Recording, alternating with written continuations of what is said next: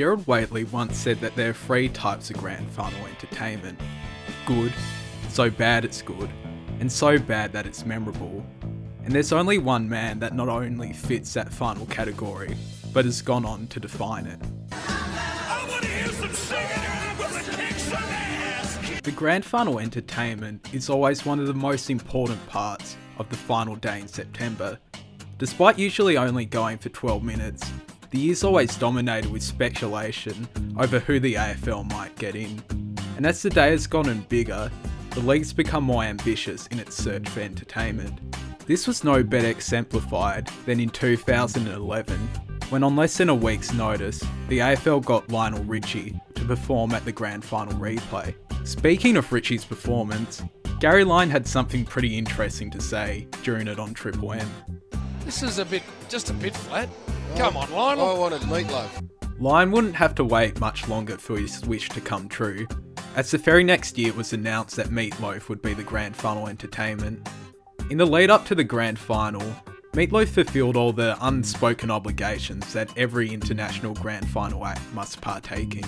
He visited the MCG for some photo ops, awkwardly held a football, he learnt that the AFL existed and learnt what a Collingwood and a Geelong was. Though that last part might have been a bit too generous. Will you be going for the cats or the pies on Saturday? Exactly. That was a, is a good question, and that's exactly right. I'm gonna have the cat pie. There was a lot of excitement heading into the performance. Meatloaf was and still is a massive name, especially in Australia where a lot of his songs became major hits.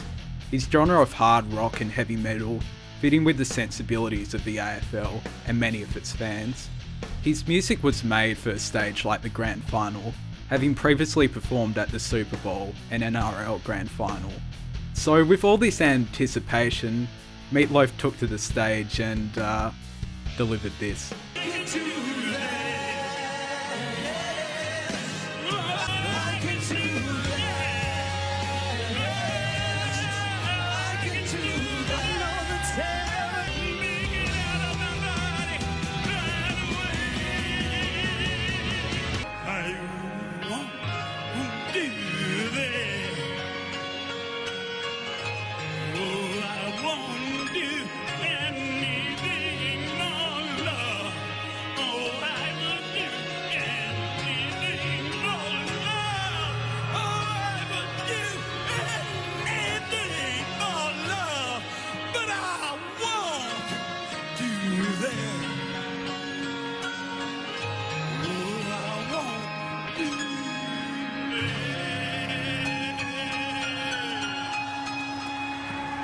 The next day, the grand final naturally dominated the news cycle. And while the main story was Geelong winning its third premiership in five years, a similar amount of coverage was also given to whatever we had just witnessed on stage. Meatloaf's performance was universally criticised, with many people saying that he'd slaughtered all of his classic songs. Really, the only credit was given to his backup singers and band members, but the praise quickly ended there. Peter Hanlon used every letter in his A to Z guide of the grand final to pop Meatloaf. AFL CEO Andrew Demetriou was a bit kinder, blaming the lackluster performance on the weather rather than Meatloaf himself. But the fallout of Meatloaf's performance can still really be felt to this day. The AFL has continually been mocked for its decision, and now former AFL CEO Andrew Demetriou has said that it's one of his biggest regrets from his tenure. Meatloaf's performance is always brought up whenever the grand final entertainment for that year is announced or being interviewed. And if you don't know the context behind it, asking someone if they're going to do a meatloaf can kind of sound like some weird version of Australian slang. You know, if they like you, they're with you. And so far, since I've been coming here, they've been liking me. So I don't know what it's like to be on the other end. Well, you might want to ask Meatloaf. Well, so I was told. I mean, uh, Every poor meatloaf. I'm here. I'm, I'm here to.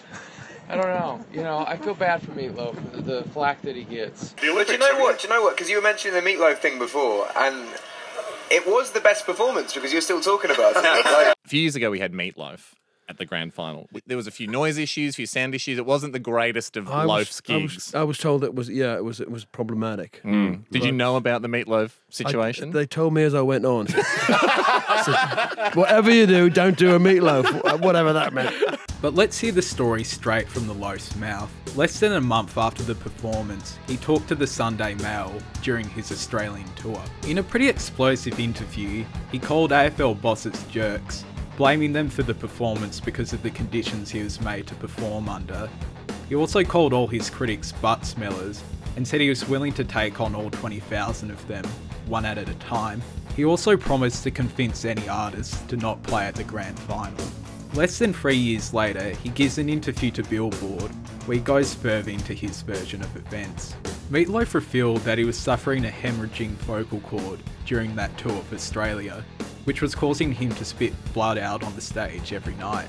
But when asked how his performances were received, Meatloaf again went in on the AFL.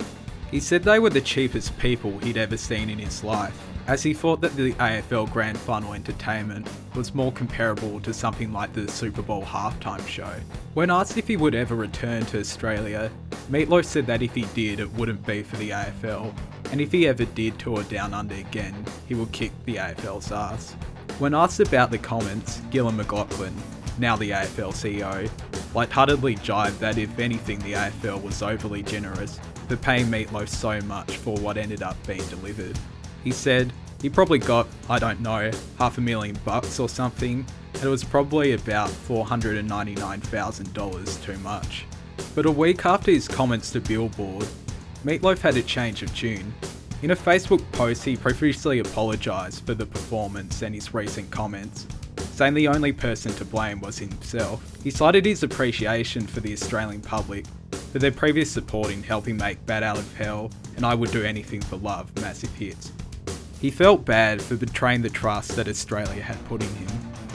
Circling back to the start of the video, I think you can add another category to Gerard Whateley's list. So bad or average that you're forgettable. Now, I'm not going to argue for a second that Meatloaf's performance was good by any means, but at the very least it did fit the criteria of being memorable. There are dozens of grand final performances that fell flat or are hard to remember. You'd have to show someone visual proof for them to remember that they actually performed at the grand final. As bad as Meatloaf's performance was, it's provided laughs and memories still to this day. Now, I think everybody wants to see a Killers like performance at the grand final again, but if you're going to fail, fail with style. Well, maybe not style, but spontaneously combust perhaps?